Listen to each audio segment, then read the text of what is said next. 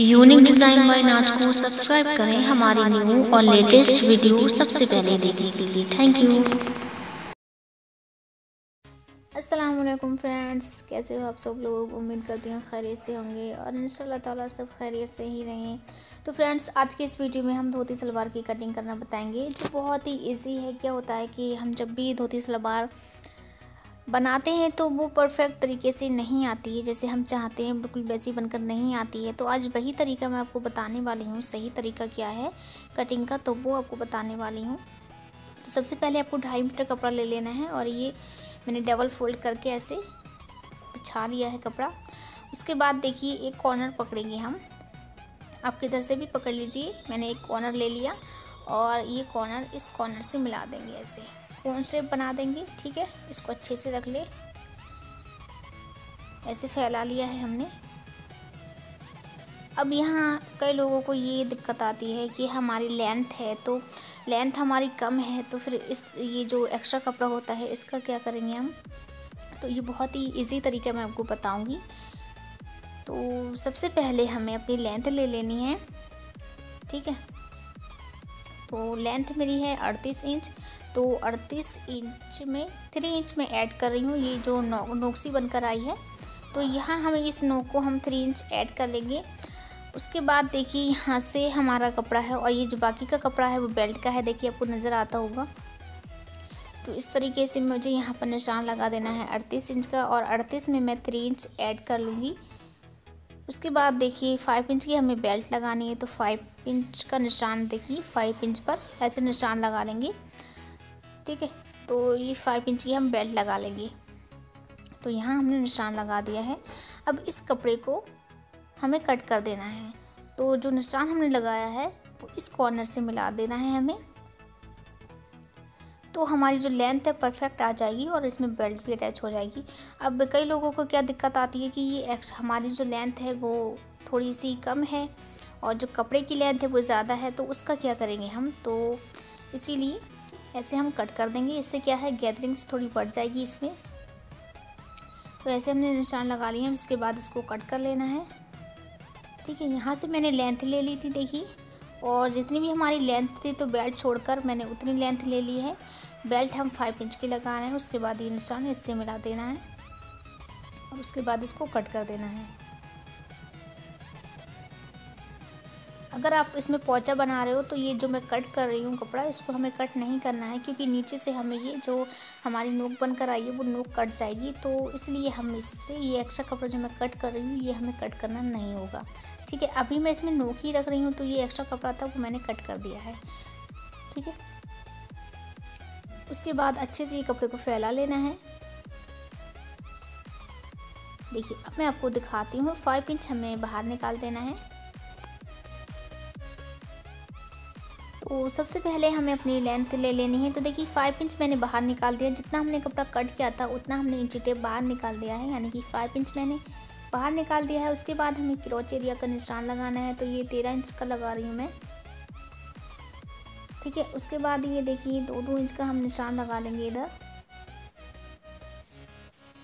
उसके बाद निशानों को हमें सीधा कर देना है।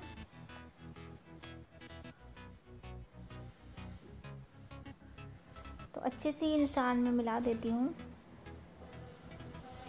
ठीक है, ऐसे हमने निशान मिला दिया है।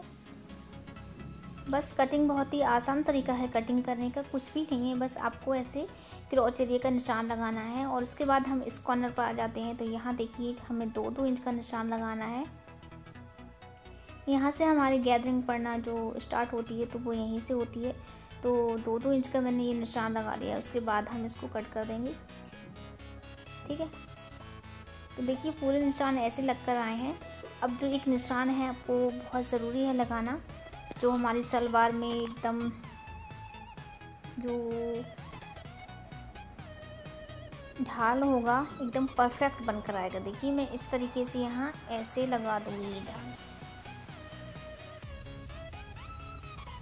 ठीक है?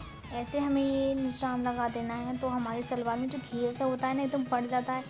तो बिल्कुल लहंगे जैसी लगती है तो बिल्कुल भी वो अच्छी नहीं लगेगी। तो इस तरीके से अगर आप ऐसे ढाल बना दोगे तो ये ढाल बहुत अच्छा बनकर आएगा, बहुत अच्छा शेप बनकर आएगा हमारी सलवार का। तो ऐसे हमें कट कर देना है और निशान पर कट कर देना है।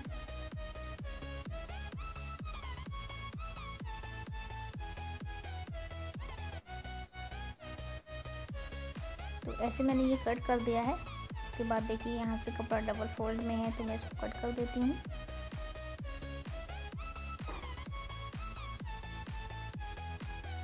ऐसे मैंने ये कट कर दिया है।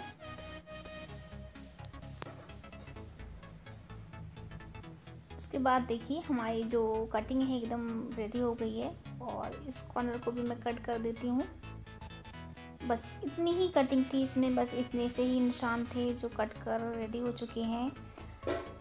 अब हम इसकी बेल्ट कट कर लेते हैं तो इसको मैं साइड से रख देती हूँ। ये बचा हुआ कपड़ा है, इससे हम बेल्ट कट कर लेंगे।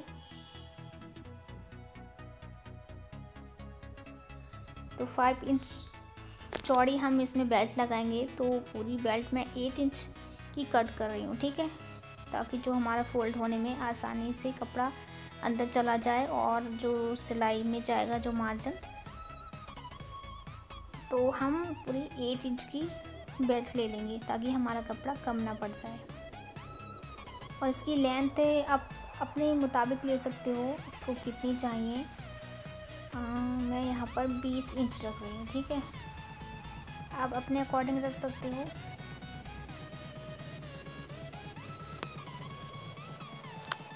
उसके बाद ये सिंपल तरीके से मैं बेल्ट कट कर लूँगी। डबल कपड़ा है ये हमारा। और इन निशानों को सीधा करके अब बेल्ट को अपने अकॉर्डिंग कट कर सकते हो। उसके बाद इन निशानों को सीधा कर लेंगे। और ये बेल्ट हमारी कट हो गई है।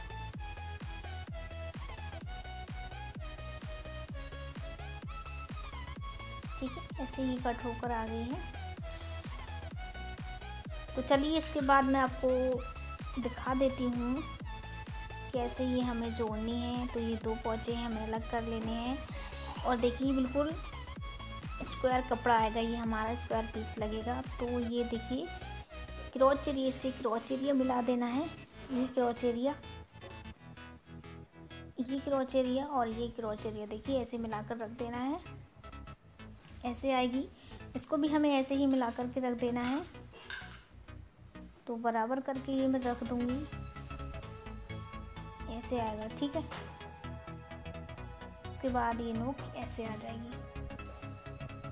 और यहाँ हमारी गैदरिंग्स पड़ जाएँगी इस तरीके से, देखिए। और ये बेल्ट है जो वो ऐसे लग जाएगी। तो इस वीडियो में मैं इसकी स्टिचिंग नहीं बता रही हूँ, मैंने इसका वीडियो डाला हुआ है। स्टिचिंग का तो आप देख सकते हैं, मेरे चैनल पर जाकर लिंक आपको डिस्क्रिप्शन बॉक्स में मिल जाएगा। तो चलिए नेक्स्ट वीडियो में मिलते हैं, तब तक